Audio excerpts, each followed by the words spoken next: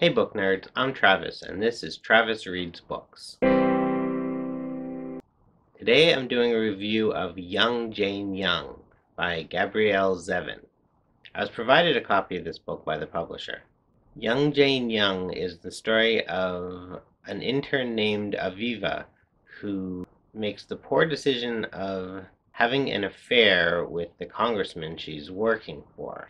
Unfortunately for her, the congressman is well loved and the public turns on her rather than him, and she ends up having to change her name and start a new life.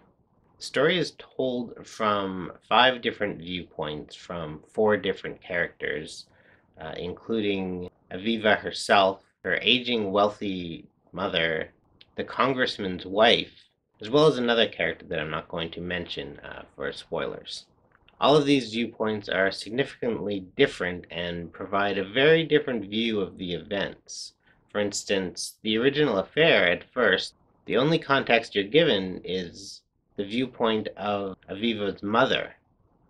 It's not until much later in the book that you actually hear about the events from Aviva's point of view. Sometimes this can feel a little bit disjointed and the uniqueness of some of these perspectives can be a bit frustrating, especially when you just want to find out what happened.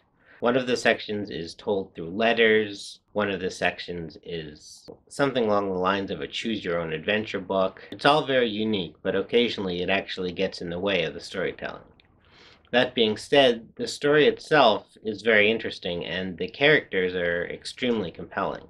Although Aviva's mother is perhaps not the most empathetic character to start the book off with, you eventually become interested in every aspect of these characters' lives.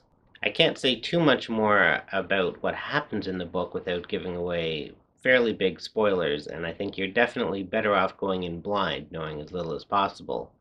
And there's other mysteries to be unfurled beyond what really happened between Aviva and the congressman.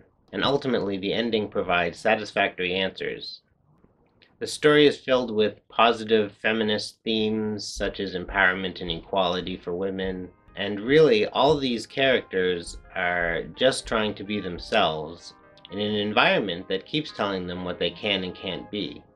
So although the storytelling can feel a little bit disjointed at times, this is a really great book, a really great story, filled with interesting political and feminist themes. If any of that sounds appealing to you, this is probably a book you're going to enjoy.